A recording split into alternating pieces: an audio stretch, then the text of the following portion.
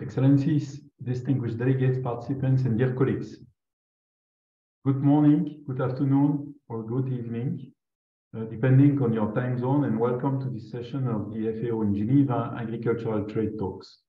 My name is Dominique Burgeon, and I am the director of the FAO Liaison Office in Geneva, and I will be monitoring, uh, moderating uh, today's uh, session. I would like to thank you all for taking the time to attend our webinar today.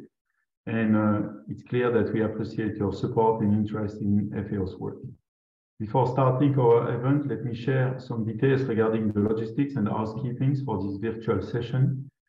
This webinar will be in English only with no interpretation. It will be recorded and will later be available on our website as well as all the other webinars we have had, along with the resources relevant, of course, to this session.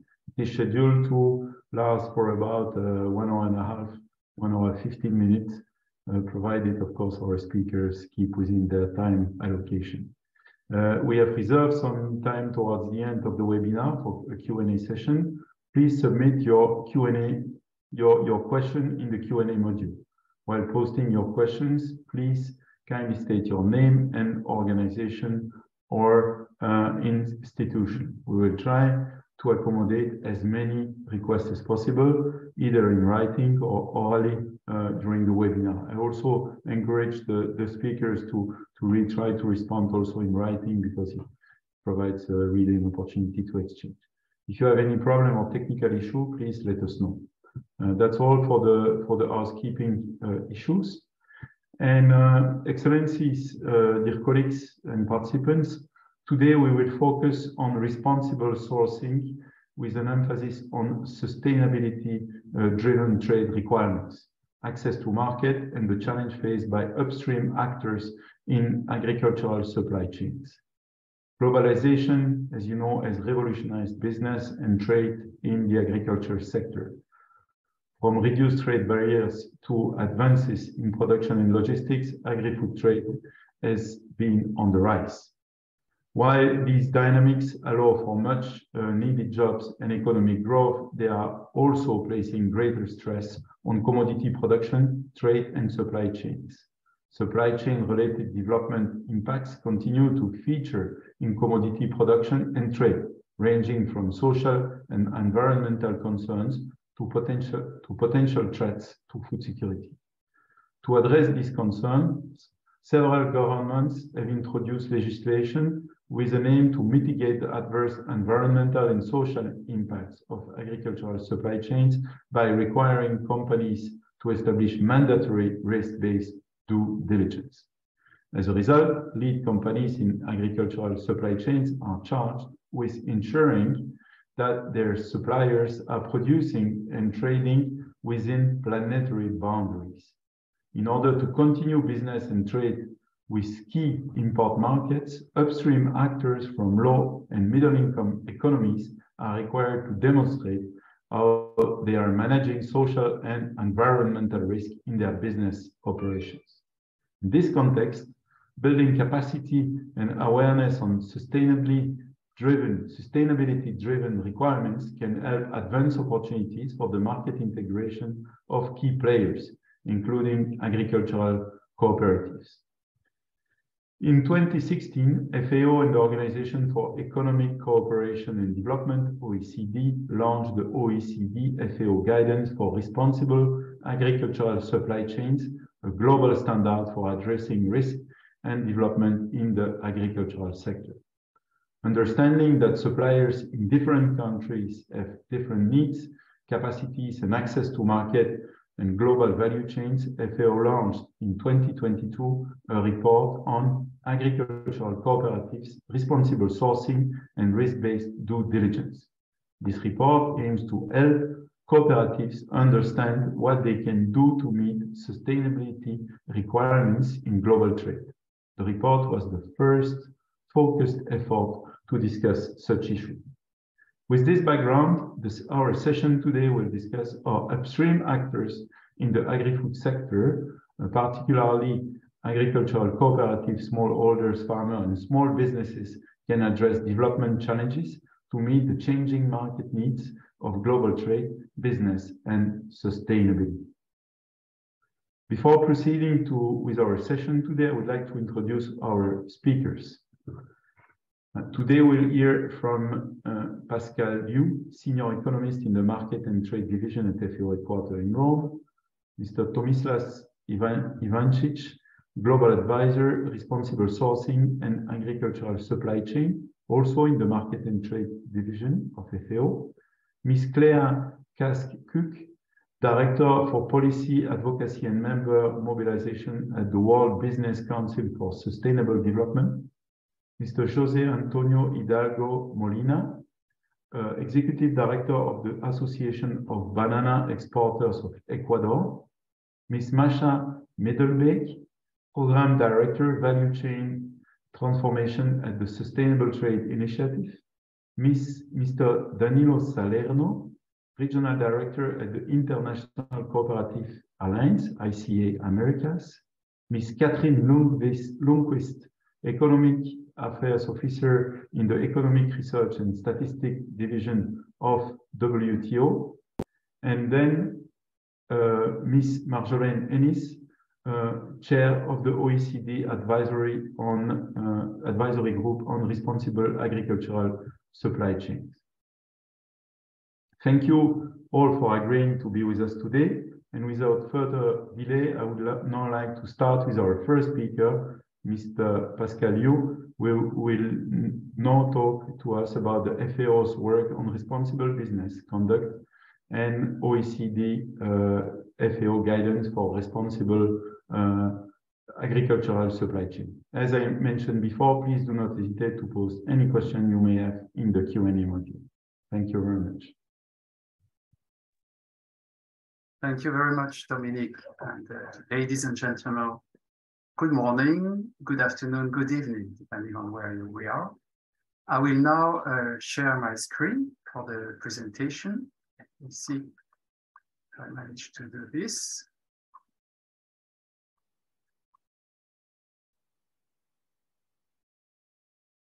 Can you see the presentation? Yes, you may, however, want to put it in full screen mode. Yes, I'm trying to do this. Okay, I think you should perfect. be able to perfect. see it. Okay, perfect. Okay, so thank you very much, Dominique, for your introduction. And uh, I will now start with a presentation on responsible business conduct and agricultural supply chains, risk-based due diligence, responsible sourcing, and development. So today in this presentation, I will address uh, why there's been this now global demand for responsible business conduct and risk-based due diligence in agricultural supply chains. I will then uh, mention and explain what is the OECD FAO guidance for responsible agricultural supply chains, which is one of the tools that companies and governments have to respond to this new demand, and explain also what risk-based due diligence means as a method to support producers and traders, especially in developing countries. And then I will conclude my presentation with some illustrations of uh, concrete examples of FAO's activities on responsible sourcing and agricultural supply chains. So as Dominique has mentioned in his introduction, there's a rising number of laws and regulations, especially in major importing markets, regarding the introduction of mandatory risk-based due diligence in agricultural supply chains, especially for large companies. And this type of legislation covers different topics, for example, corporate governance, transparency and anti-bribery, anti-corruption, environmental and social due diligence, sustainability reporting, and there are also some specific concerns regarding you know, the development aspects and environmental aspects such as climate change and carbon emission, modern slavery and forced labor, child labor, decent work, etc. And you can see on this graph, you can't really see and you don't need to read what's in blue, but you can see the number of regulations and laws, you know, starting from 2010 over the last 12 years, there's been an amazing increase in the number of regulations, especially in major importing markets. So what are the drivers? What drives governments to adopt this type of legislation? There are several types of drivers. Some of them are political, you know, big uh, groups of major economies like the G7, the G20, in their meetings, they called for more importance given to responsible business conduct in global supply chains. That was recently the case in the G7 Agricultural Ministers Declaration last year, but also more recently, just a month ago, the, at the Global Forum for Food and Agriculture, the OECD FAO guidance was mentioned. Uh, also, the uh, European Parliament Working Group on Responsible Business Conduct has called several times for more regulations. And also even the EU Code of Conduct on Responsible Food Business and Marketing Practices has also referenced the OECD FAO guidance. But it's not only the political sphere, also industry and consumer organizations uh, have called for more sustainable supply chains and responsible business conduct and due diligence. For example, the CEO of BlackRock several times you know, has come up with some declaration in his annual declaration or annual statement to CEOs. He mentions several times you know, the need for responsible business conduct. And then, of course, the regulatory developments, if we can cite just a few recent developments, for example, the French uh, Loi sur le devoir de, vigilance, the Australia Modern Slavery Act, or the EU draft directive on corporate sustainability due diligence are recent examples of this drive towards more regulations and more requirements for due diligence. So a key tool to address these requests from markets is the OECD FAO guidance for responsible agricultural supply chains that you can see on the screen. Um, so this guidance was developed by the OECD and FAO starting in 2012. We, we had the first discussion. And then uh, from 2013 to 2015, guided by a multi-stakeholder advisory group, this uh, guidance was developed and it is now a leading global standard for agribusinesses and investors on risk-based due diligence in agricultural supply chain.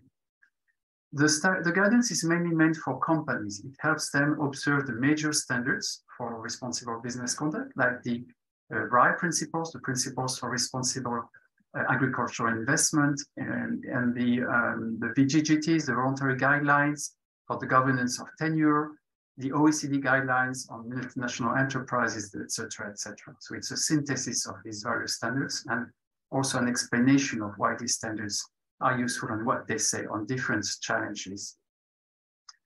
Um, the guidance has three main sections. A section on, on the what, so that is namely a, a modern enterprise policy that companies are free to adopt or adapt to suit their own needs and to derive, to design their own corporate policies on RBC.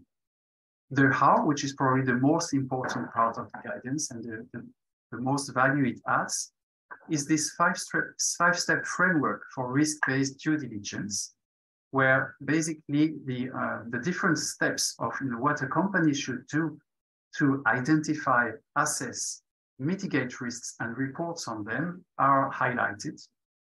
And also it has a third part, which is quite concrete on you know, concrete and specific measures for risk prevention and mitigation in various areas of risk, which can be, for example, human rights, worker rights and labor rights, environmental risks, uh, technology, corruption and bribery, uh, and other aspects like food security and nutrition, which are quite important in, in the guidance. So FAO and OECD are now finalizing a new joint implementation plan for the next five years, 2023 to 2028, which will succeed the plan that was that just finished uh, last year. Now, FAO's work on responsible business conduct in agriculture is very varied. The guidance is one pillar of this work. There are also others.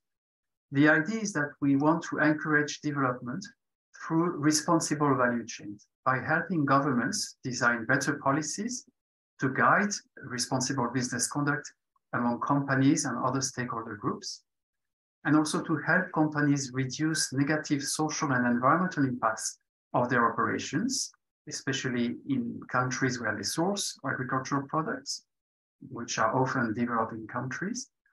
We will focus on this part of the agri-food supply chain, the developing country part.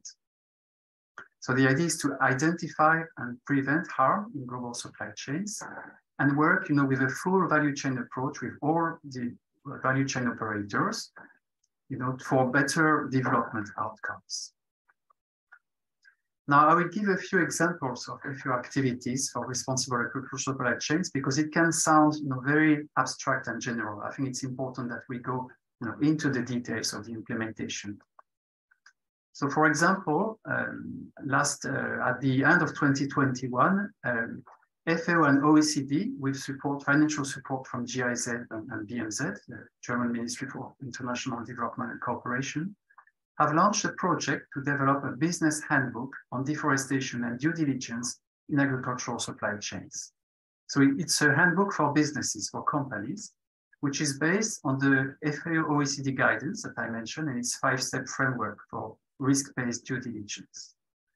And it explains to company how they can address deforestation upstream in their suppliers and also downstream along the supply chain, how they can implement due diligence to try to assess and mitigate risks, but also to have a, a positive effect on forests. How to troubleshoot bottlenecks in considering you know, different uh, instances, different challenges and sensitive areas of work, and how to address current regulations or forthcoming regulations, like, for example, the EU Directive on Corporate Sustainability Due Diligence, which is expected to be adopted sometime this year and how to engage with various stakeholders for doing this, because this is a key point. You know, companies cannot do everything on their own in terms of addressing environmental and social impacts. They really need to work hand in hand with government agencies, civil society organizations, local communities, unions of workers, etc. So we are now in the process of finalizing the handbook. We are also producing a, a short uh, version with key messages, which will be translated in a few key language where deforestation issues are salient, and we expect to launch the guide, the handbook, uh, in June this year. Another concrete example of uh, FAO's work on responsible business conduct is in tropical fruit value chains. We have a project which focuses on sustainability in pineapple and avocado value chains. These are high growth commodities which generate a lot of cash export earnings for developing countries. So the project aimed to help businesses and organizations of producers to understand how they can reduce adverse impacts on local development in their sectors. So it aims, it aims to provide technical guidance for producer organizations, small and medium enterprises, exporters, packers, and other actors upstream in the value chain. And it also introduces the OECD FAO guidance and the concept of risk-based due diligence to producers and also the different operators along supply chains to advance sustainability in key commodity markets. Another example in another commodity sector, which is quite important to developing countries, is the, the banana export sector, which generates about 10 billion US dollars every year for developing countries you know, creating hundreds of thousands of jobs in the world, especially in rural areas. So the forum is a global multi-stakeholder platform to facilitate collaboration between stakeholder groups and the dissemination of best practices on sustainable production and trade of bananas. It has more than 200 members representing retailers, importers, exporters, producer organizations, governments, trade unions, civil society organizations, and research and development institutions. Among the uh, exporter organizations, we have AEB, and we have here today, we have the pleasure to have uh, Jose Hidalgo from the Ecuadorian Banana Exporter Association. The forum has different working groups working on each of the three dimensions of sustainability, economic, social, environmental, and it also has task force on specific issues and gather actors to facilitate development solutions for sustainable business in the banana value chain, working on topics like climate change mitigation, promoting living wages, promoting decent work, gender equity, fighting global diseases of concern like uh, TR4, Fusarium wilt TR4, which is a big concern for the banana industry.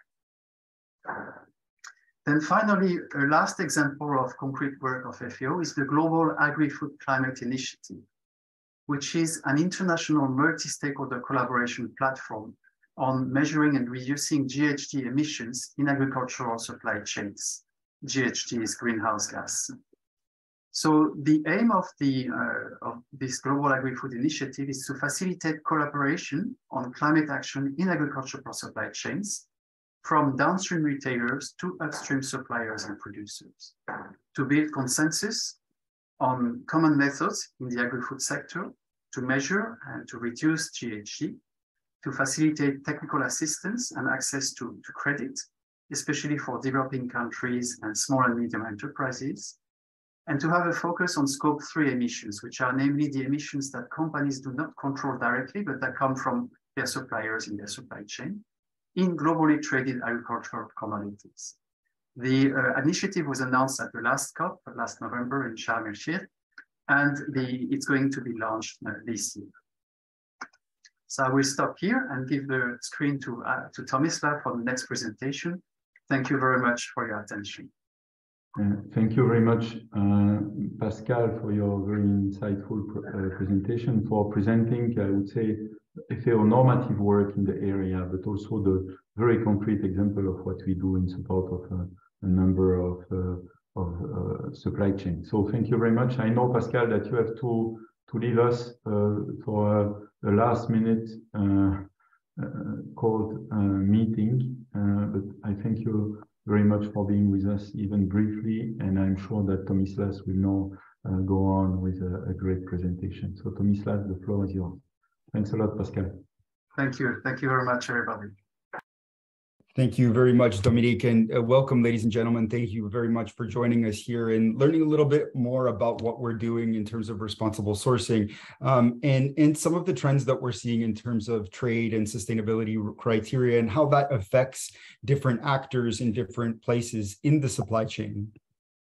So in my presentation here, I'll, I'll run through four major areas um, um, that are really based around a report that we launched last year in October of last year on agricultural cooperatives and risk-based due diligence, right? Um, I, and more or less, the, the objective was that was to try to, to bring agricultural cooperatives into the global discourse on trade um, and supply chains um, because they're such an important development actor, and I'll get to that in my presentation. So first, I'll outline why trade in agricultural cooperatives. Um, there Thereafter, I'll, I'll outline a little bit more um, about sustainability requirements, global trade and development, right? And, and um, illustrate how that has changed over time um, and, and really what uh, risk-based due diligence is um, in, in reality. Uh, the fourth area I'll discuss is um, how do we apply a risk-based due diligence model uh, to agricultural cooperatives, right? If, if we're seeing that as becoming an increasing requirement by suppliers downstream in the supply chains, how do cooperatives even adapt um, to, to, to these requirements, considering um, uh, the challenges that they face. And, you know, likewise, um, smaller um, economic actors in supply chains, such as small and medium enterprises, face similar challenges um, um, in uh, low and middle income countries to address these, these type of issues. So it's very relevant uh, for all actors upstream. And lastly, I'll close with some key takeaways and recommendations that we've outlined specifically in our report. So really, why trade in global, um, why trade in, in agricultural cooperatives? Well, we know that um, development is a very important part of this equation, right? Agricultural cooperatives are what we've called frontline actors in reducing poverty in agricultural sourcing communities. So, you know, around the world, from Uganda to, um, you know, to, to, to Brazil, to, to Argentina, to, to many other countries that trade uh, globally, um, we have agricultural sourcing communities where there are farmers, um, small medium enterprises, many different actors that are dependent on the global dynamics um, um, of uh, demand and supply, right? Um, and, and as such, agricultural cooperatives are imperative because they do reach those who are often forgotten, including smallholders, um, and, and, and serve as a very good springboard to bring them into global trade um, and markets.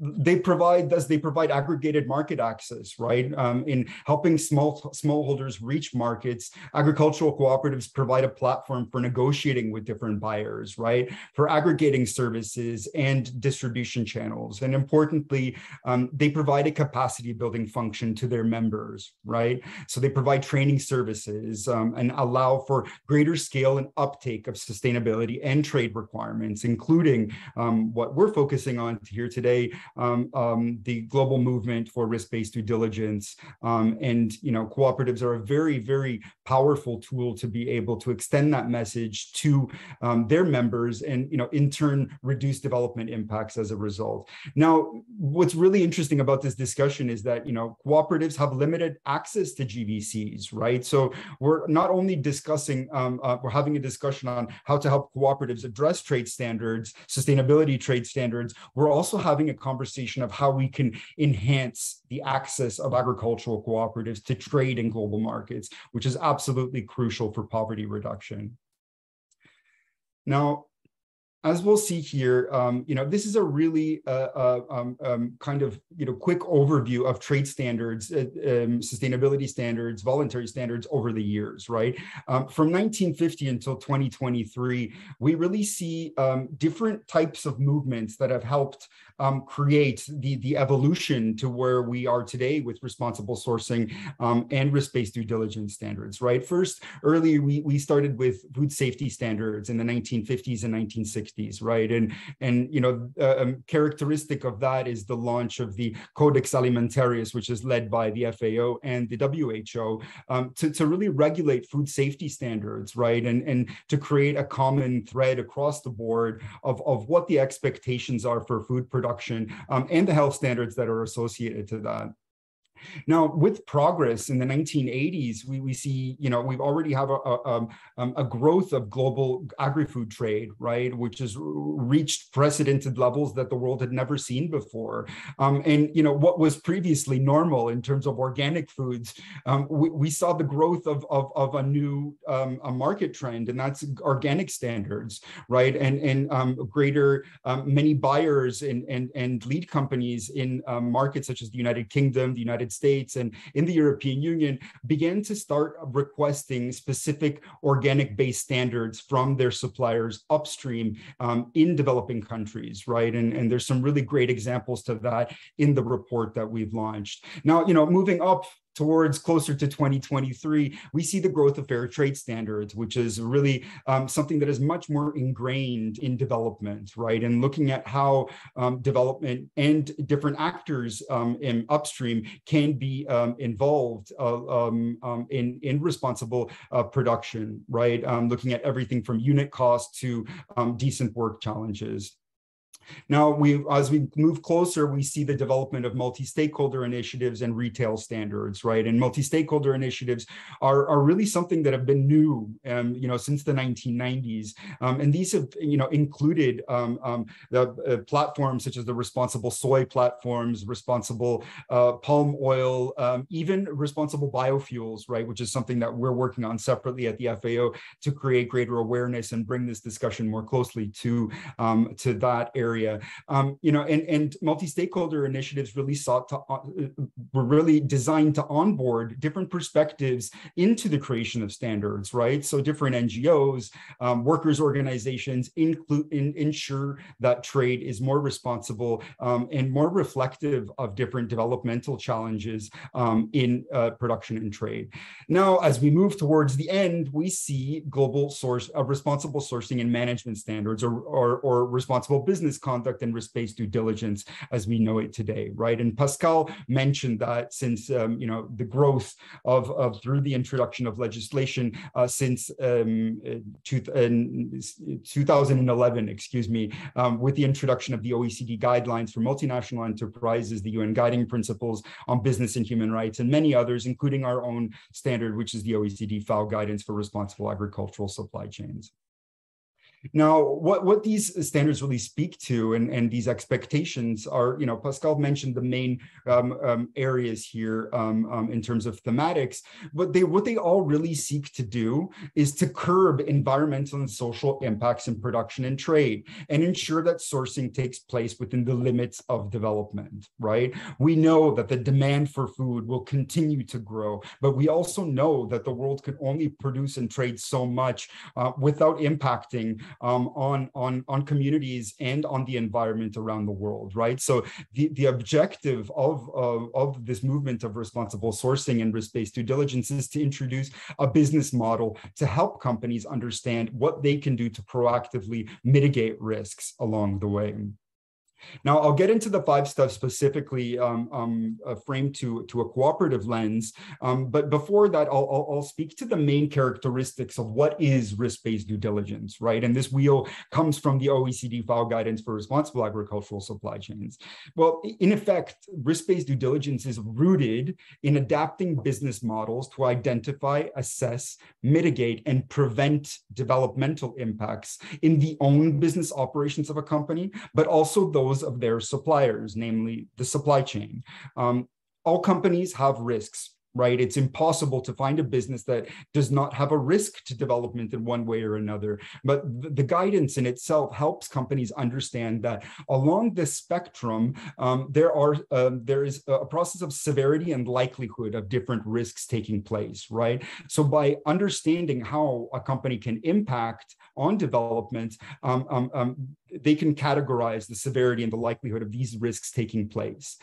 Importantly, uh, risk-based due diligence considers the leverage of the impacts cause and what companies can do to exercise their leverage in a supply chain. So, you know, if you're a downstream supplier um, or a downstream buyer, for instance, in the United Kingdom or in the Netherlands or, or, or in the United States or Finland, um, you know, if you are not satisfied with, with the, the, the sourcing um, um activities or even maybe even risks identified with uh, your suppliers down upstream in the supply chain, um, you can use your leverage to try to in, enhance better business practices amongst those suppliers.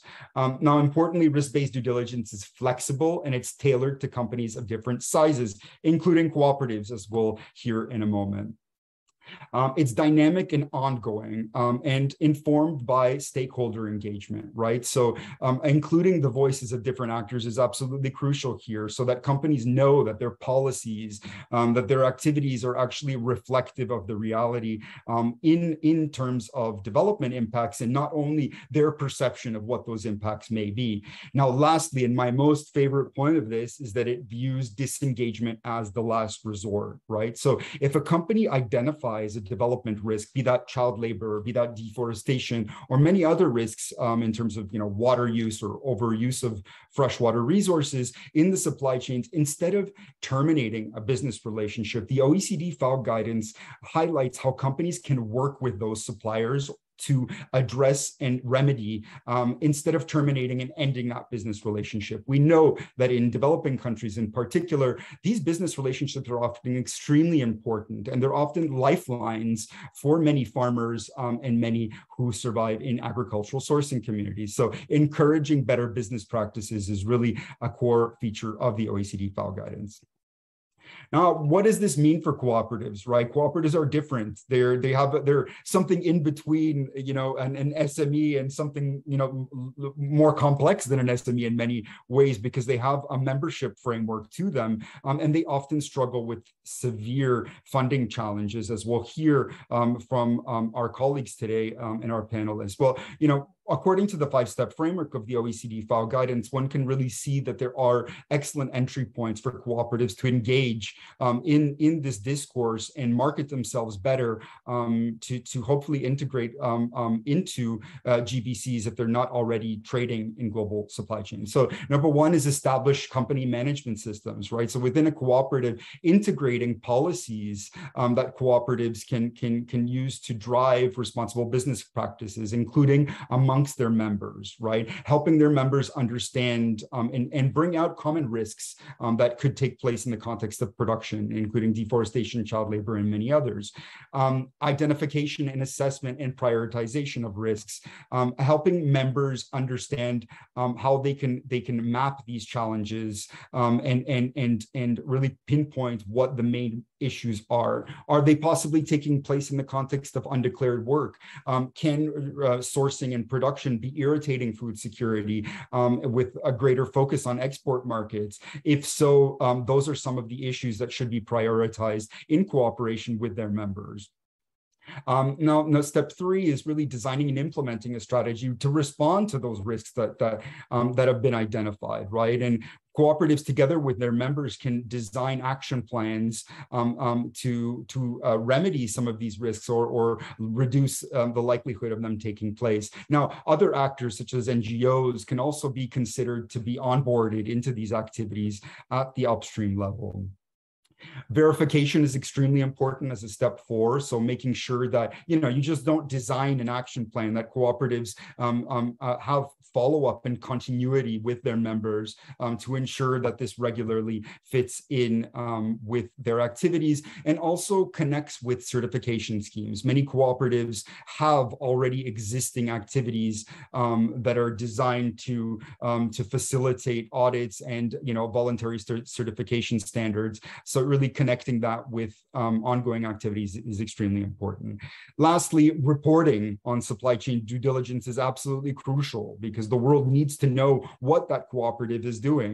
And importantly, um, it, what's what's key here is to know that cooperatives can better market themselves to downstream suppliers as a responsible um, um, as a responsible actor um, in supply chains, right? And, and enhance their potential to be able to trade globally. Lastly, some things to consider um, and in terms of recommendations, build the house um, ensure that um, when we're talking about risk-based due diligence, that we just don't jump in with uh, integrating a five-step framework, but that um, cooperatives really consider their existing management issues, right, including financial issues, staff issues, and any gaps, right, um, uh, without considering that, you know, the, the, the impact would be, uh, wouldn't be as, as efficient and sustainable. Uh, setting the scene, really communicating what this is in terms of market expectations and in terms of, uh, of strengthening their own business models, right? Moving beyond VSS and certification. So uh, introducing um, the five-step framework and training and extension service tailored to the needs of all cooperative members. Um, considering the benefits, right? Understanding that this is um, um this is an opportunity to reduce uncertainty in business um, and look for opportunities um, as a responsible supplier. Lastly, involving others, integrating and embedding multi-stakeholder cooperation throughout the process. Colleagues, I'll end here um, and I'll pass the floor back to Dominique. Thank you very much for your time. Thank you. Thank you very much, Tomislav, for uh, really an excellent presentation and for also being, again, very concrete on how, uh, on how risk-based due diligence is applied, uh, particularly to, uh, to agricultural cooperative. I find that super interesting. So thank you very much. And uh, now I would like to, to open the, the panel discussion during, during which our panelists will further elaborate on how upstream actors in the agri-food sector, particularly agricultural cooperatives, smallholders, and small businesses can address development challenges to meet the changing market needs of export, trade, and sustainability. And today, our first speaker in the panel uh, is Ms. Claire Karsk-Cook, uh, Ms. Cook is Director for Policy Advocacy and Member uh, Mobilization uh, at the World Business Council for Sustainable Development. The World Business Council for Sustainable Development is a private sector-led community of over 200 of the world's lead, leading sustainable businesses working collectively to accelerate the system transformation needed for a net zero, nature positive, and more equitable future. With such a bright agenda, Uh, Ms. Clerk, please, the floor is yours. Thank you so much for the kind introduction. I actually had written some of this just to explain where I work already, but now I don't need to repeat it. So, really helpful. Thank you. And I'm honored to be here and happy that this conversation is happening with such a focus on Geneva, which is also where WBCSD is based. We have offices in other places around the world, but based here, and exciting to see the FAO taking a leadership in this space, also in Geneva, engaging with WTO and many other organizations. So, what I wanted to focus on, and I'll just make a few comments and really looking forward to dialogue and having a conversation is around the role of companies and business in collaboration with co with cooperatives in particular in order to improve supply agricultural supply chains and then also to share some examples and key themes that we have seen in the responsible sourcing in food and agriculture space, in particular around a project that we have around the Global Agribusiness Action on Equitable Livelihoods, which has a strong focus on equity, which is a core priority for us as an organization. So, practically speaking, what I can share on the cooperative side, and I was really listening with a lot of attention to what Tomislav was sharing and the results of the study, a, a central theme is the value of collaboration. And a particular example that we I can use is, and this is input that we've also collected from a colleague who leads our soft commodities forum, which has a lot of the world's leading agricultural commodity companies as members. So ADM, Bunge, Cargill, COFCO International, Viterra, and Louis Dreyfus. And they're having a lot of focus on the Cerrado soy supply chain. And what we are finding and what we're seeing from those examples when we're looking at how to improve that particular value chain is the importance about engaging in dialogue and action planning with indirect suppliers, which includes cooperatives. So, not just direct suppliers, but the indirect suppliers to promote traceability schemes and monitoring systems to ensure deforestation and conversion free soy supply chains. So it's really that big focus on traceability and collaboration across the value chain. And that we see cooperatives offering a gateway to a community of producers. So not just individual producers, but really many different ones. And that they're really helpful in enabling collective investment and equity minded approaches. So that include farmers, and make sure that farmers are part of the conversation. So when you have these large companies involved, having the role of um, having that role of a cooperative as a central anchoring point is really important. And we also see that cooperatives can play an important role in helping prepare producers, helping prepare farmers to upcoming market standards and regulations. And they can also help introduce, kind of generate some thinking around market based solutions to encourage greater sustainable production. So that's a particular example to share about dialogue and action plan that gateway to farmers and also helping work with farmers and preparing them about upcoming market solutions and standards. That's the one example I wanted to highlight on and also I had a bit of a brainstorming a conversation with Tomislav as we were preparing for this and discussing so much about, you know, the importance of obviously public-private partnerships, the right incentives that need to be put in place, the key role of digitalization and transparency. There is so much to cover and there is limited time. So what I think would also be really important is to share uh, work that we have done where we worked with particular companies to create case studies about how large agri-food companies can engage and strengthen small and medium-sized agri-food companies in their value chains to better enable market access. That's a, a, specific example I wanted to share. So we worked with companies like Bayer, OCP Group, Danone, many others to look at um, how can they scale sustainable procurement practices and improve SME supplier engagement? And some of the key themes that came out of this, which some of this I've I've I've seen mentioned before and some I haven't, is is obviously central is a stable, resilient, and transparent supply chain is essential for an agribusiness sector. And we've seen a lot of uh, challenges, especially to SMEs, and cooperatives because of climate change, because of the impact of COVID-19. List goes on. So what this work with the big with the with the corporations showed, which was a really interesting conclusion. One number one is the benefits from empowering women, which is one of the most most important conclusions, and seeing women as agents of change.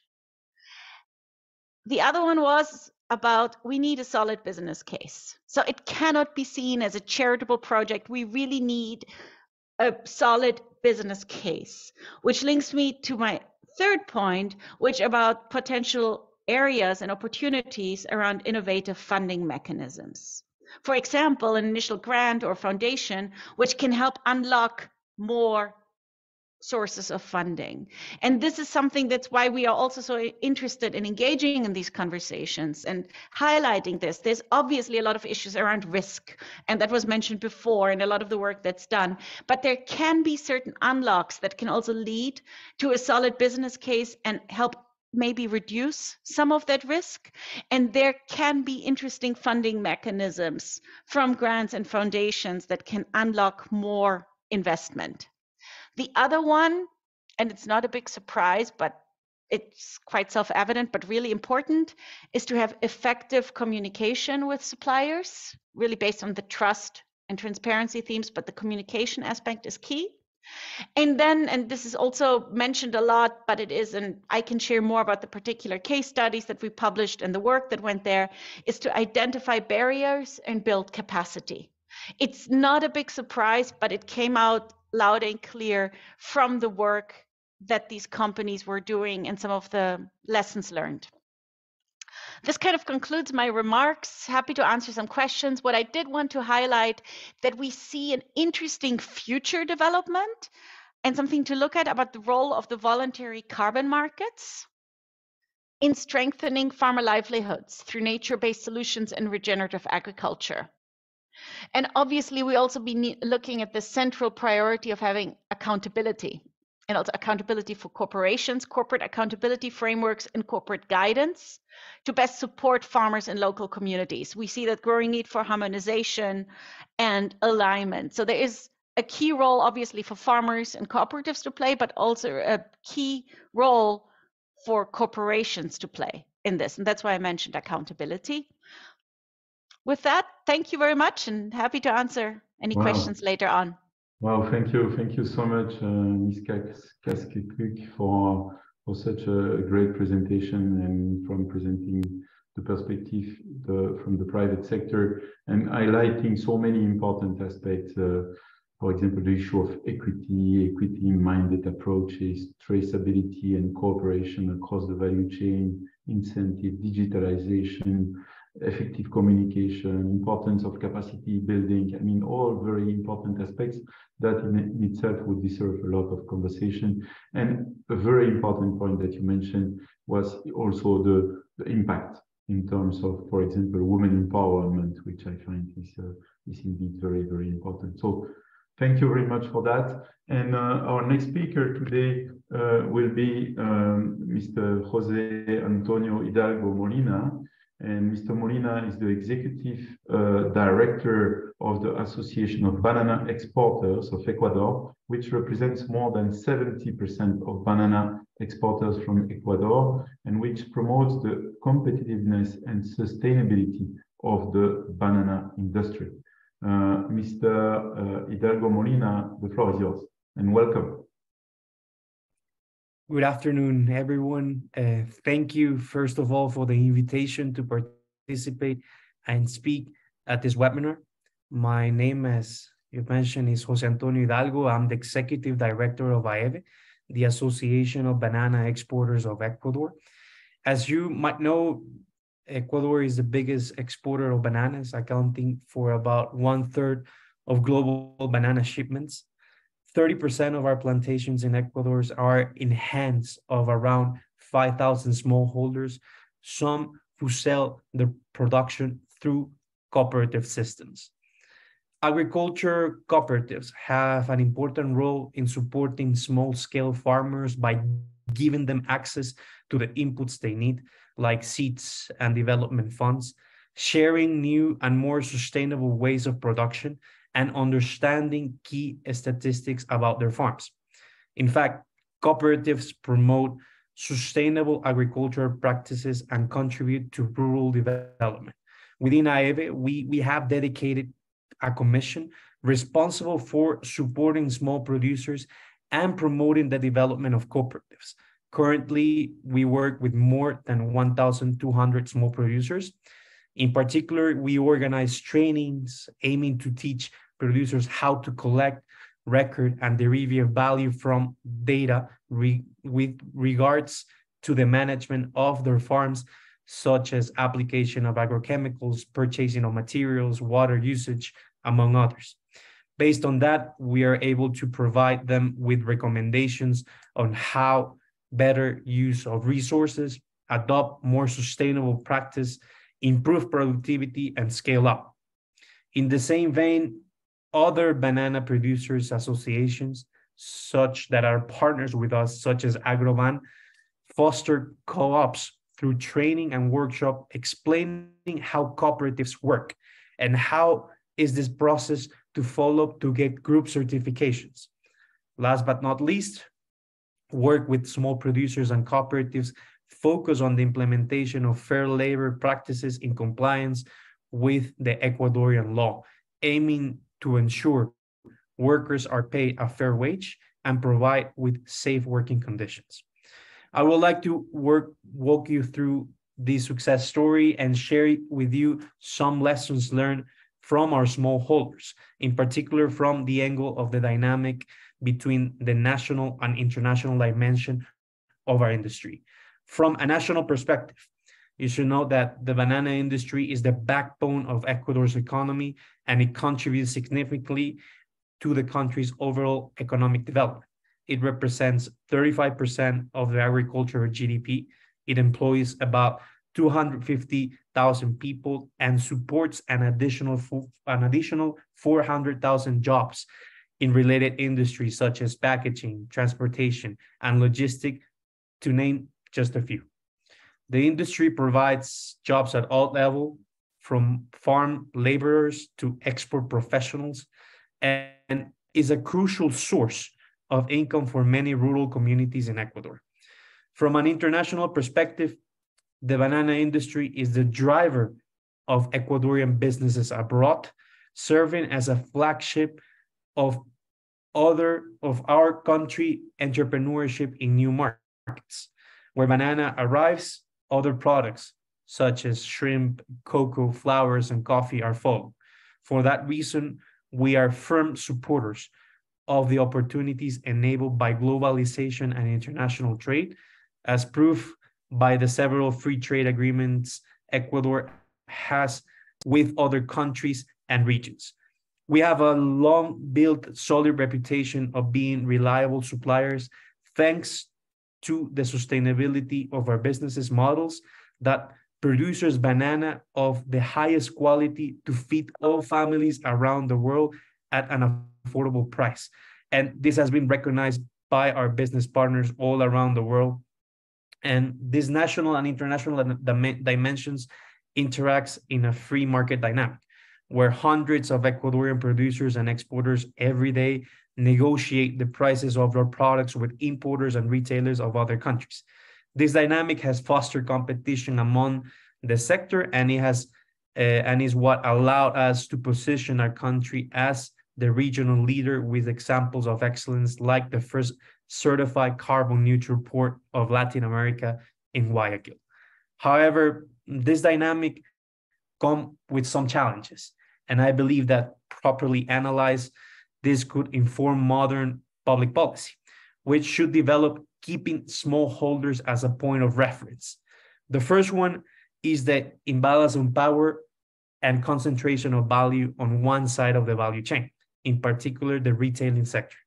This has been demonstrated by several reports elaborated both from private and public organizations, FAO included, that indicates that barely 20% of the shelf price remains in the, con- in the country of origin, which is later distributed between workers, producers, and exporters. 80% is concentrated in the other side of the value chain, the downstream. My first call to downstream actors is very simple. You should pay more for your bananas. You should not play at who's uh, who has the cheapest banana and rather educate and empower the consumer to be part of this sustainability journey. This is the only way to recognize the effort of smallholders that build the social and economic fabric of our rural areas. The second one is the technical barriers from certain jurisdictions that do not recognize the principle of different regions and different needs. Our producers fight every day to ensure that the quality standards of our bananas are in the line with international phytosanitary guidelines while protecting the plantations from the plague and pests like Siga, black sigatoka and Fusarium TR4, native of the tropics and that require a specific plant protection products. When these products are not recognized by importing markets simply because they do not have to fight the same plagues and pests, our producers needs to either find alternatives of, or, or lose their harvest often alternatives do not exist or are not viable or are more expensive. Often, these technical barriers change several times in a short period, being a challenge in terms of adaptation, particularly for smallholders that do not have the capacity to monitor the changing regulatory environment at destination and means to test viable solutions. My second call in this regard will be, as I said before, different regions, different needs. This reality has motivated our government to pass a specific laws aimed to regulating the banana industry in Ecuador. We have, for instance, La Ley del Banano or Banana Law, developed in response to the challenges faced by the industry, including low prices and production cost. We have as well a living wage for all workers recognized by our constitutions, by our constitution since 2008. And let, let me repeat, a living wage for all workers recognized in our constitutions since 2008 and minimum wages specific for the banana sector periodically adjusted based on the changes in the cost of living and other factors. However, given the international character of our industry, upstream actors like ourselves cannot address the development challenges alone without the effective participation of the downstream part of the value chain.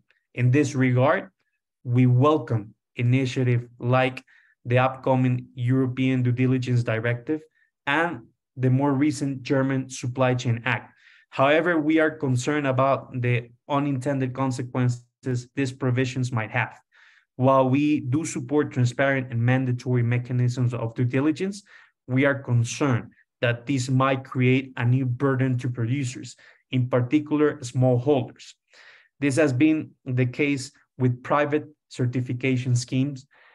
Despite being voluntarily, this in theory, in practice, they are mandatory because retailers impose them, transferring the associated cost to the producer, which is particularly burdensome to some smallholders. My third call in this regard will be to policymakers.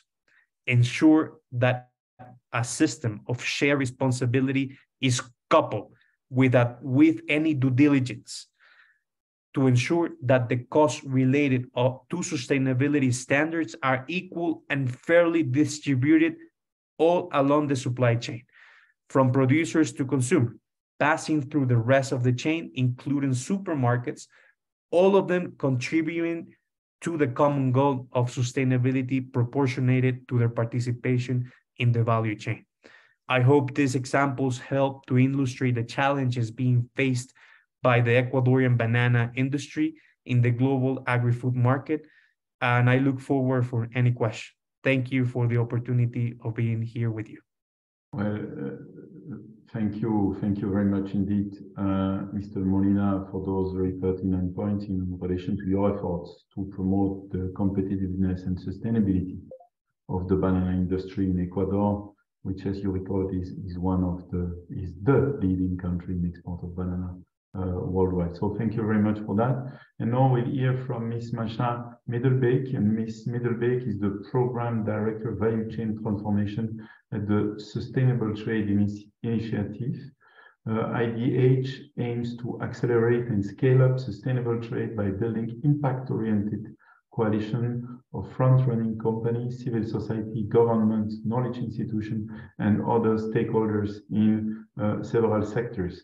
Uh, Ms. Middelbeek, the floor is yours, and I would like to ask you to, to try to, to stay within the, the allocated time because our the previous speakers were a bit talkative, I must say. Very interesting, but so. Let's uh, try to give that a shot. Thanks, uh, Dominique. Um, uh, hello, everybody. My name is Marcia Middelbeek indeed working at IDH. Uh, pleased to be here and, and happy also to share some uh, some insights with you on, on how we work on professionalizing cooperatives through the private sector. I believe, is there a presentation shared or I think NAR is about to share that? Is that correct? Yes, there yes. it's coming. Um, and then you can directly go to the second slide, uh, Pinar. Uh, though already mentioned what uh, IDH is the Sustainable Trade Initiative. Maybe a few additional words for the ones that are not familiar with it. Headquartered in the Netherlands, around 300 employees globally and operated in 20, 20 landscapes and 12 commodity and sourcing regions worldwide. As mentioned, uh, we seek to transform markets and change back business practices, uh, business practices on farmer level, business level as well as sec sectoral level. And we seek to do that through convening locally and globally by bringing food system coalitions together, sector initiatives, stakeholder platforms, as well as co-creation together with the private sector, designing projects and programs that drive changes in markets and the food systems we operate in. Then in turn, co-invest in these project programs, value chains and business models that we seek to change and based on the work we do, we generate insights and well, and look for further finance to scale our efforts. That's about uh, IDH. Let, let's move to the subject matter of today in the next slide. And, and well, as, as we are talking about uh, uh, seeking our downstream suppliers, which are often cooperatives, farmer organizations, had to help reducing environmental risk and social risk like child labor, uh, soil degradation, um, that and but also make them more meaningful players in global trade. That journey starts by by structurally investing and making cooperatives more professional commercially viable and, and investable. So so those words uh, tomislav was referring to build a house these really resonate. Because if these farmer-led business entities are not managed well, governed, governed well, that's actually the key risk, right? Uh, and, and we can then not expect them to have mature extension systems, service system in place through which they can train their members and reduce all kinds of supply chain risks we would like them to reduce. So in practice, what we often observe uh, is that the step of that professionalizing cooperatives on governance, business, uh, business management, financial management, having strong human resourcing in place is often skipped or doesn't get enough attention. So we directly kind of move to the next step. And therefore, the efforts which we are making in, in uh, cooperatives to adopt trade and sustainability standards uh, and requirements are not going to be effective or stick if that house is not in order.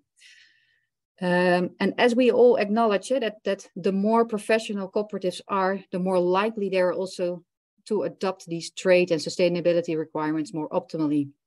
And apart from that, they have other benefits already mentioned by, by a few, and more efficient aggregation, improved productivity, quality, traceability, but also better value distribution in the value chain, where uh, we have data that, that based of working with farmer organizations and cooperatives that substantially reduce cost to source, but also the cost of servicing farmers and apart from that, as mentioned as well, right, cooperatives deliver better services and inputs to their to their members. So that there is a business case for investing in professionalizing uh, cooperatives, that's evident. The question is who and, and how should that be done? And can all these costs uh, be bared by the private sector alone? Um, as IDH, we take a private sector approach in driving cooperative professionalism uh, through the business models of the processors and the aggregators, off-takers we work with. And these can be corporates like Cargill, Nestle, but also agri-SMEs in, in Africa. We assess how the sourcing and the service models of these companies can professionalize cooperatives and, and support graduation. For example, when it's through sourcing, we, we reflect on how to set the procurement practices in such a way, like contracting, lies a price setting mechanism, payment mechanisms, premiums, to really set the, the right business incentives also for these cooperatives to scale, uh, grow, and professionalize. On the other hand, we reflect on the service model. Yeah? So the services companies provide, like access to inputs, training, markets, access to finance, and to tailor these services to different segments of cooperatives that are out there. Yeah? For example, more advanced segments receive more specialized services and technologies or pre-finance or are linked to financial institutions, whereas more immature farmer organizations, cooperatives might receive more support on how to aggregate, manage their group, or how to register their, their, their entity. So, so far from perfect yet, but what we are see featuring in our portfolio is that we increasingly observe that, that companies include and tailor services supporting cooperatives to professionalize. Not, su not surprisingly, also that farmer segmentation or farmer organization segmentation is more prevalent in, in larger companies. and mostly based on performance indicators or sourcing potential. And though it's positive that companies adapt their sourcing and service models to allow for cooperatives to professionalize, but also work towards uh, the, the sustainability requirements, etc. We also acknowledge that this approach, uh, that companies will typically only invest in the graduation to meet basically their needs, not necessarily the needs of the farm organizations or the sector at large, right?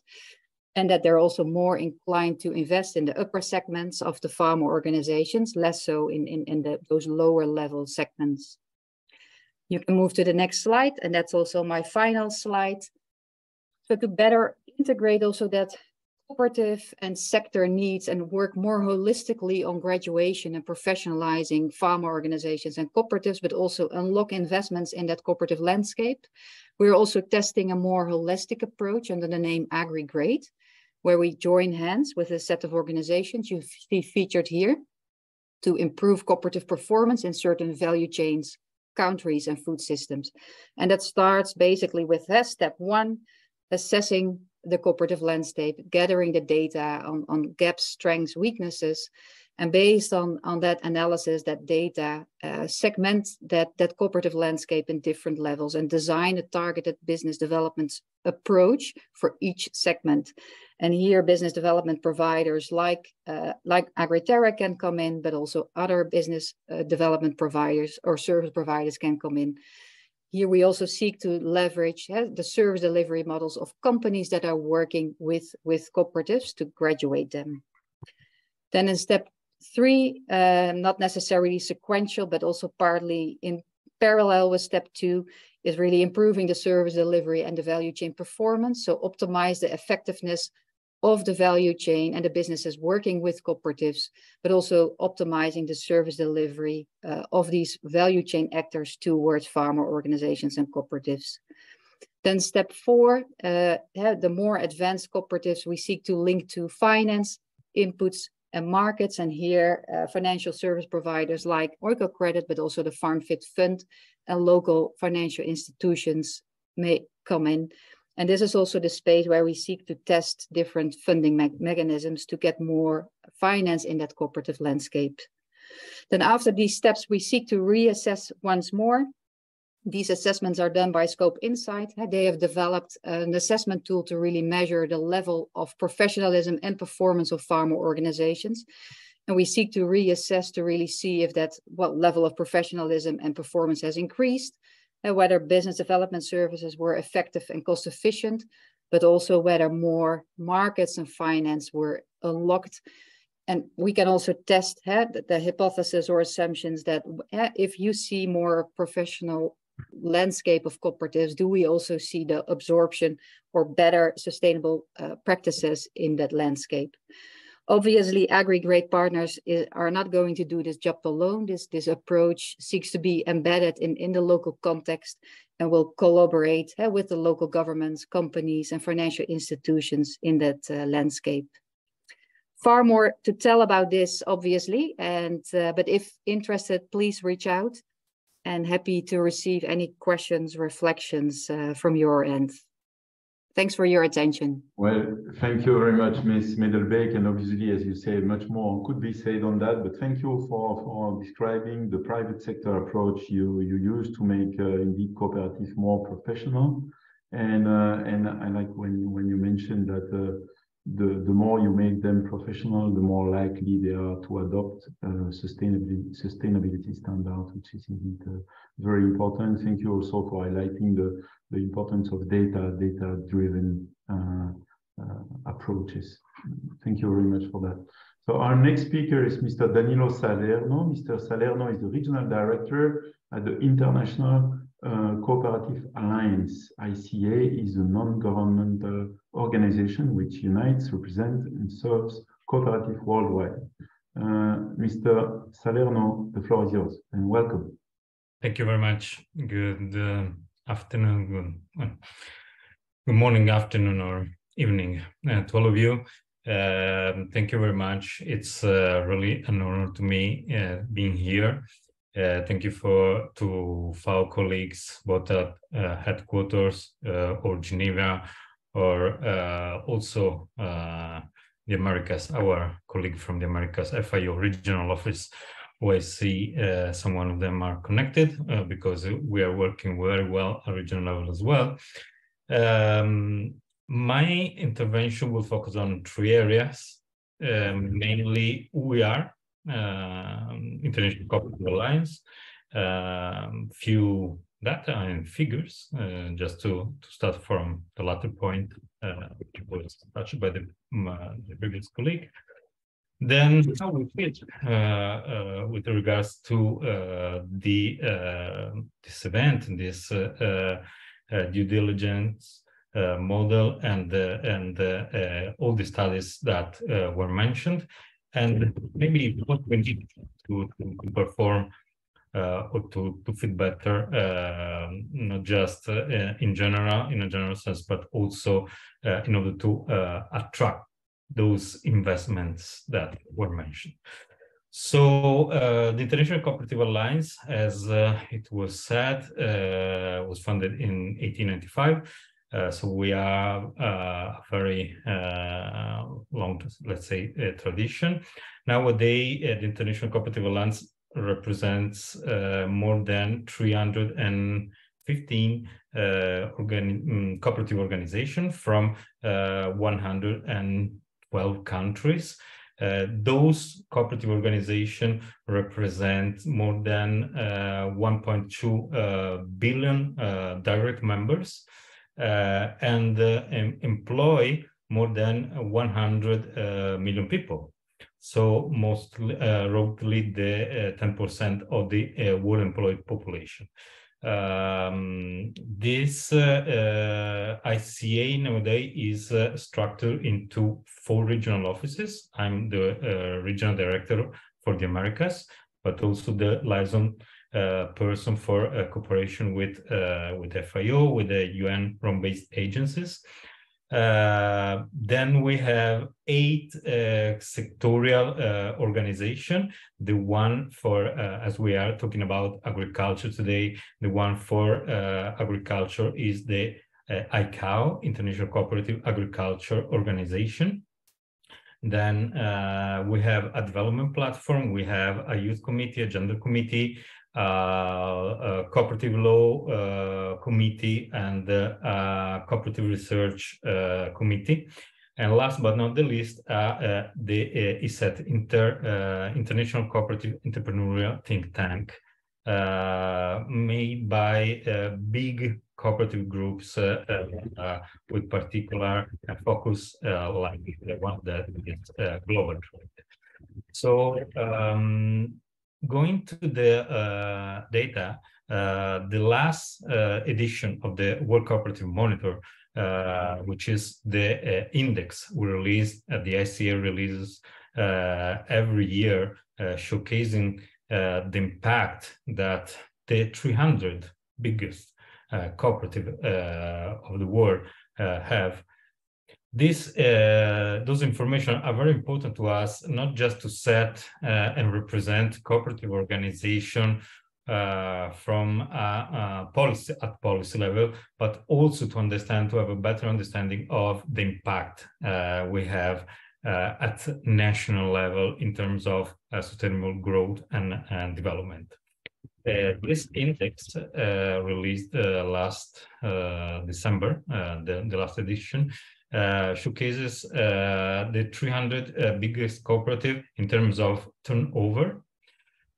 But at the same time, which is uh, which makes more sense to me, um, uh, showcase the 300 biggest cooperative in terms of turnover over GDP per capita. So the impact they have at national level in terms of personal purchasing power. Uh, so if we have a look at it, um, and uh, I will copy uh, afterwards uh, the link uh, in the chat, we see that um, the amongst those 300 biggest cooperative worldwide, the um, big part of them are from the agriculture sector. Uh, 100 uh, out of uh, 300 of the biggest one are active in the agriculture sector, while 59 are active uh, of, of, the biggest uh, are active from uh, in the consumers and retail sector. so roughly merging these first two sectors we have we see that the 53% uh, of the half uh, part of the 300 big cooperative of the world, uh, let's say, cover uh, the uh, agriculture or food system supply chain. So production plus distribution. When we say production or agriculture, also fishery uh, is included and it is crucial to keep in mind as part of the um, food system. Then if we go uh, to the type of uh, cooperatives, uh, the top 300 uh, per type of organization, again, we see that uh, 126 cooperatives are from uh, the agricultural sector and plus 70 from the consumers and retail sector. And looking at the geographical distribution, we have uh, mm, mm amongst the 300, we have 90 cooperatives from uh, the Americas, plus uh, roughly, um, I would say 50 from Asia Pacific and uh, 160 more or less from Europe. This is to say data are important and we have also at the same time to uh, improve our uh, data collection uh, because uh, uh, most of this uh, data comes from desk research desk analysis while while just a, um, a, short percentage comes from data directly submitted or shared by our members. So uh, in this sense, cooperation and partnership with uh, international organization and uh, research centers is crucial uh, to us, not just to identify those policies we need in terms of representation, but also which uh, financial or technical tools are uh, needed in order to improve our action both at national and international level. Uh, focusing on uh, agriculture, um, we have uh, the top 10 um, in terms of turnover, uh, top 10 cooperatives coming from Japan, Korea, the US, Germany, uh, and, and again the US, while analyzing the uh, top 10 in terms of turnover over GDP per capita, we have India, uh, with IFFCO another um, milk marketing federation, plus uh, Korea with uh, ANF, NAFC. Then we have cooperative from Brazil, Argentina, again US, and again Germany, and, and so on. So the importance of data, as was uh, already mentioned. Uh, looking how we fit with regards this uh, due diligence and uh, all, all, the other studies uh, where, which were mentioned. Um, and looking at uh, the um, risk analysis, uh, I'm happy to say that uh, mainly four or, or five areas of this due diligence risk analysis uh, from my point of view, are already covered, uh, especially I refer to uh, human rights, labor rights, healthy uh, safety, as well as food security and uh, nutrition standard. Let me just give you, share an example uh, I'm very familiar with, uh, coming from uh, Costa Rica, uh, the uh, the country where the regional office from uh, of the Americas is set up.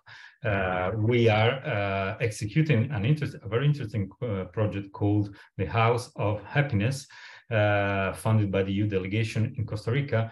And what we do is to provide um, education and uh, health um, services to those uh, migrants uh, coming to uh, from uh, Panama or um, Nicaragua during the coffee uh, season in order to um, pick up pick, coffee from from the production and uh, to process those process, those uh, coffee uh, via some cooperatives like Cooperativa Azul we are working with.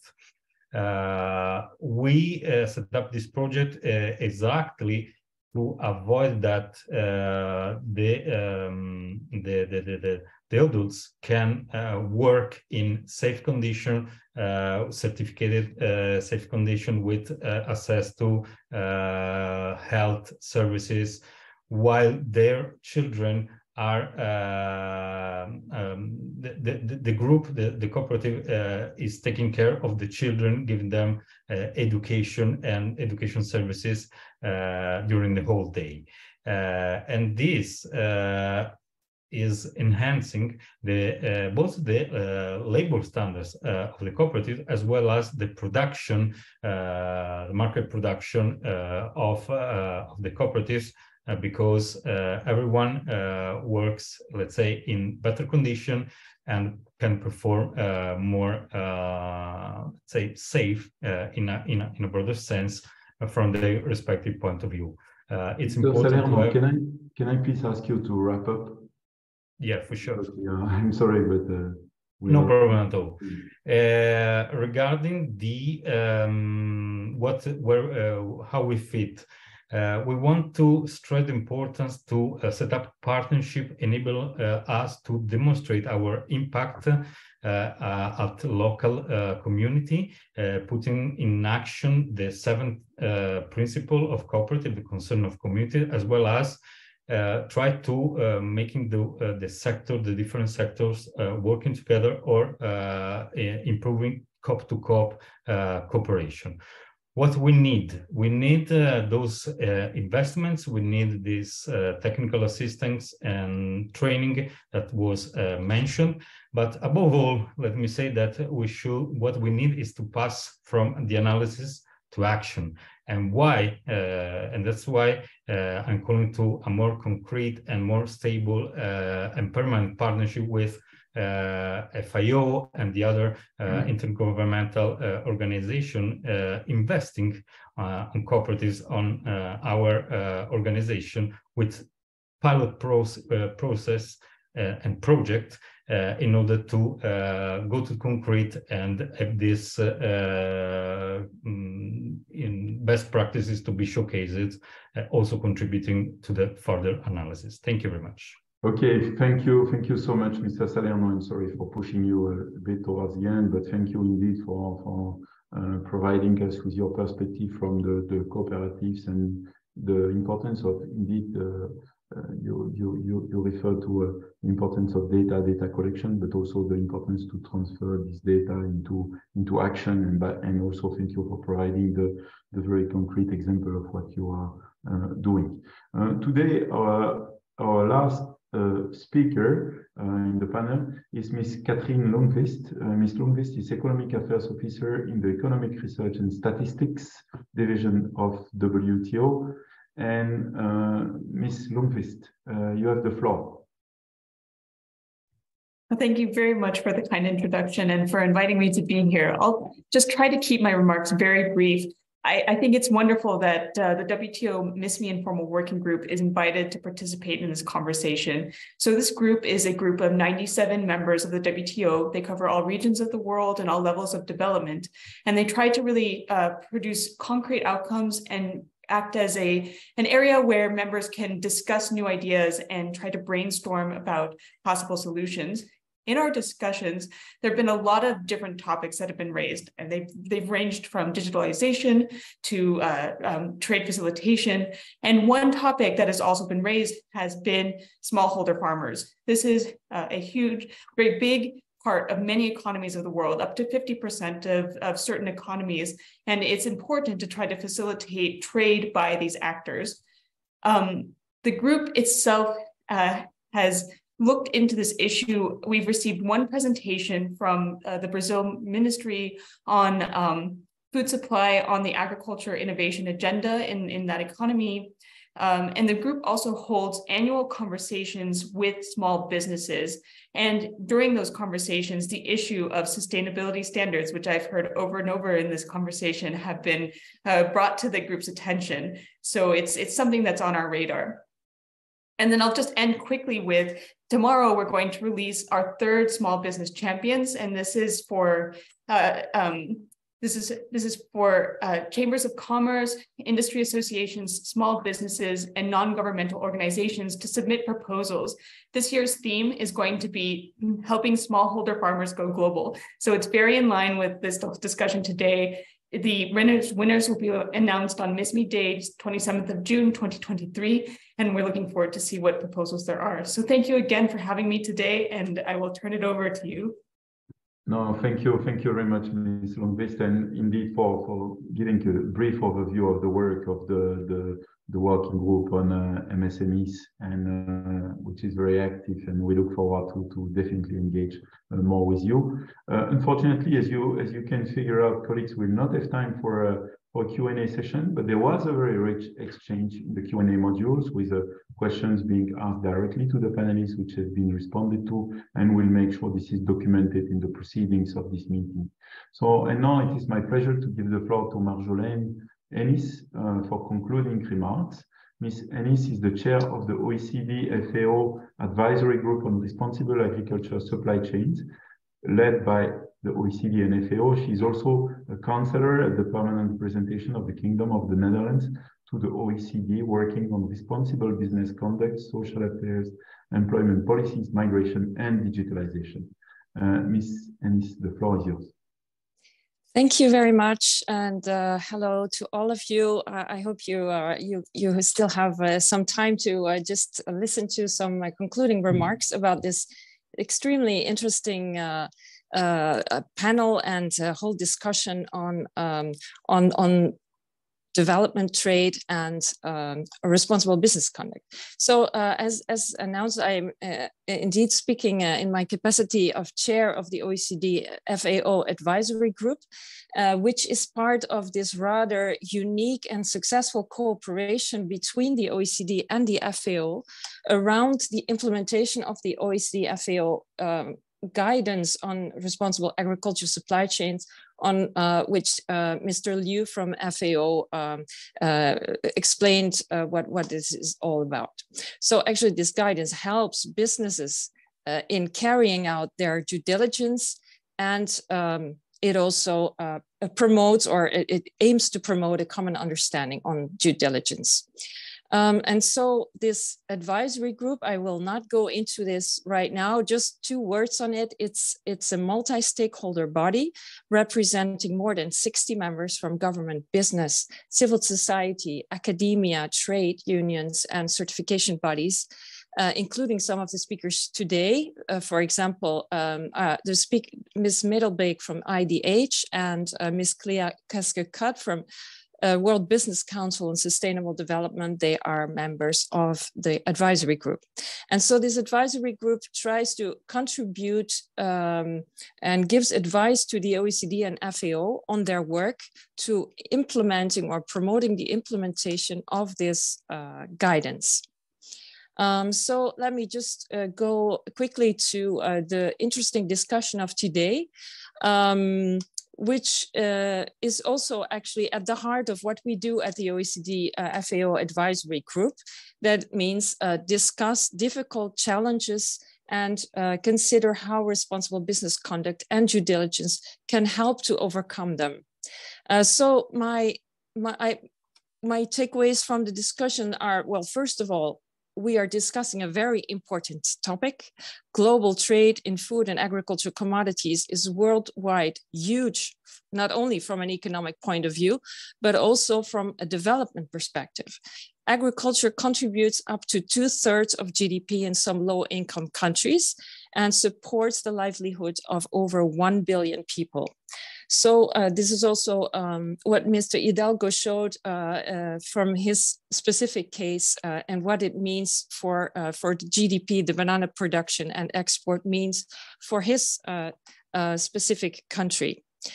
Um, so today's trade policy environment in food and agriculture, supported by actors such as the FAO and WTO, have made enormous progress in discouraging unfair trading practices, reducing market uncertainty, and facilitating coordination between countries.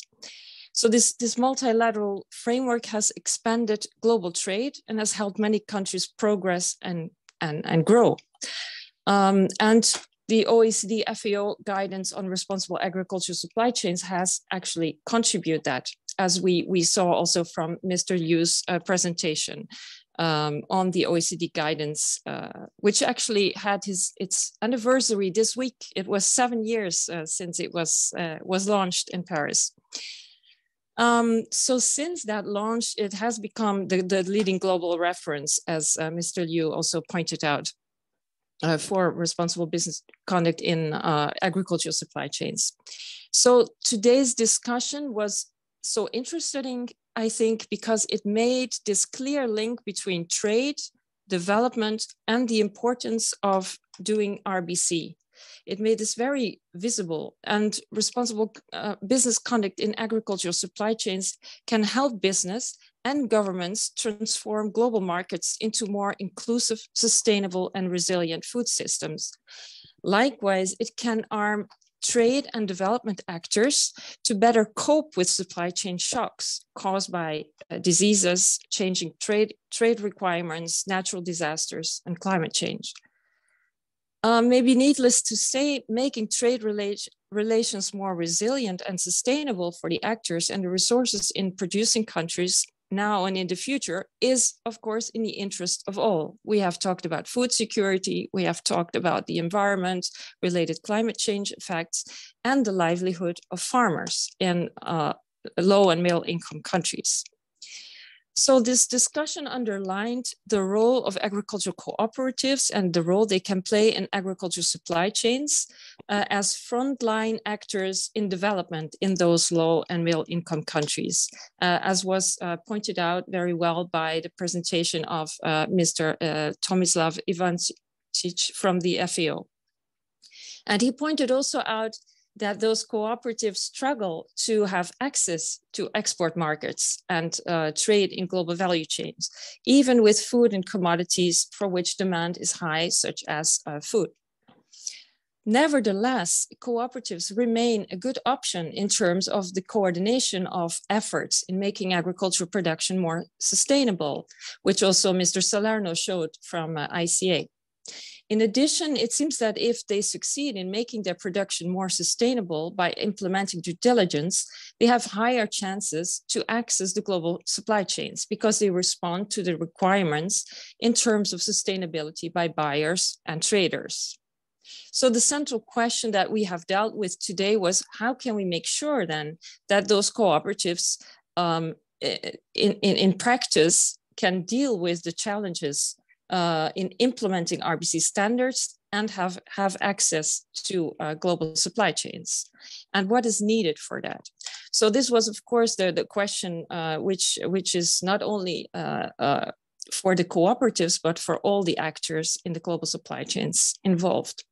And so there were many suggestions I heard today. Um, uh, for example, we should start by making a greater effort to listen to the different actors in agriculture supply chains and consider their economic, social, and environmental needs. Um, dialogue and action plans were meant uh, uh, were mentioned, and informing cooperatives about RBC were were pointed out is important. For example, our colleague uh, Clea from uh, WBCSD and Mr. Salerno from uh, ICA pointed this, this out. Another important uh, action point is to build capacity, and Tomislav also mentioned this, uh, and it's also uh, clear in from the from the the report.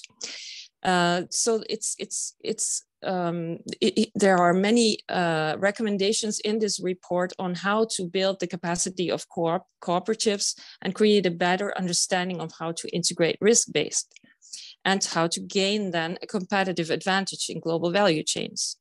And Mr. Hidalgo has underlined with respect to that also the need for a balanced value chain that ensures a living income for all the actors also in the upstream part.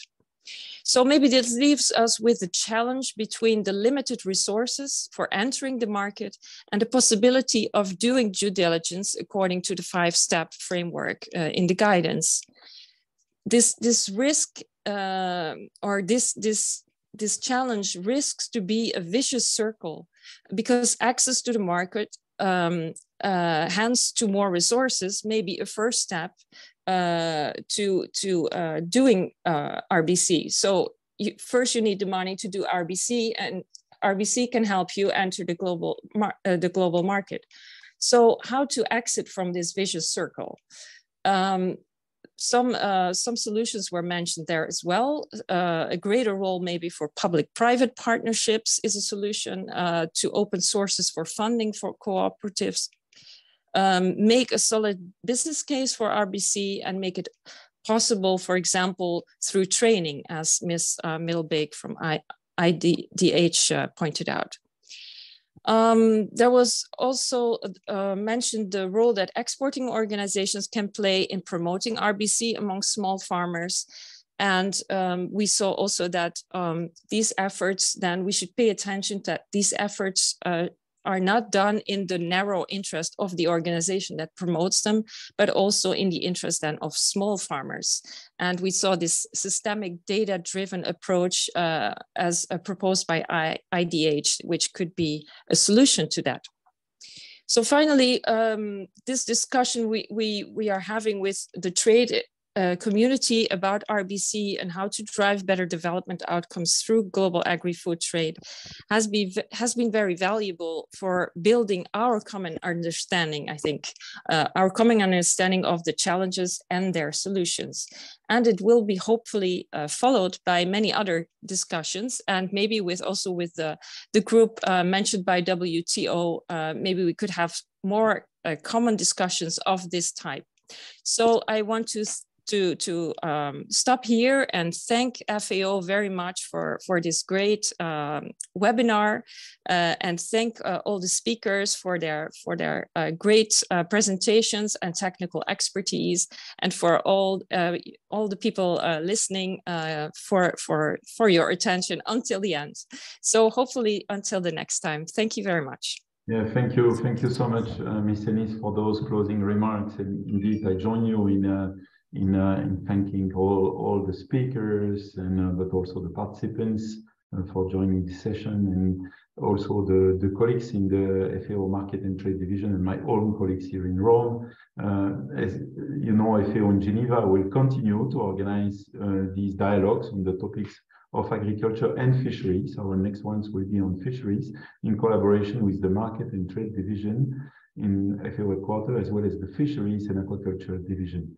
Uh, so we will be announcing the, the themes and dates for the upcoming uh, dialogues in, in the very near future, and we look forward to that level of attendance and that quality of uh, of dialogue, which was really uh, very impressive today, uh, from the very beginning to the concluding remark by you, uh, Ms. Ennis. So thank you, thank you so much, everyone, and we look forward to having you again. This is an important topic that we will keep uh, that we need to keep on our agenda. So thanks again and have a great rest of the day wherever you are. Bye bye. Thank you, everyone. Thank you very much. Bye bye. Thank you. Bye. Thanks a lot. Bye bye.